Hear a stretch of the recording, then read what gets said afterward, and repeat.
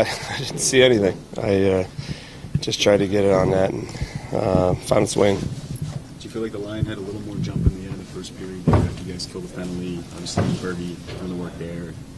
Um, we still didn't play the way we can. Um, you know, it, it's early in the year. We're a little rusty. We got to be better than what we've been um, all the way around. This wasn't our best game, but we win at the end of the day. That's all that matters this, this time of year. Um, but we got to continue to improve, and uh, you know, I, we're a little bit better, but we still weren't very good.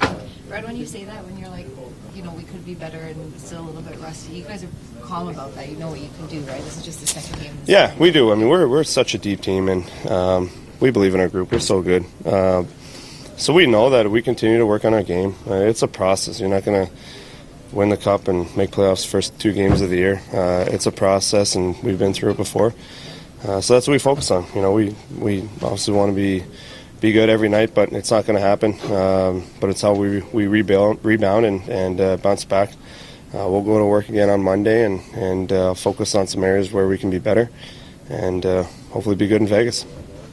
Why, why was it easier for you guys as a line to generate a little bit more chances and looks? I don't think we generated that much. Um, you know, we, we got a couple of bounces and uh, shot found its way in, but uh, again, I don't think we generated uh, nearly as much as what we have in the past and, and what we can.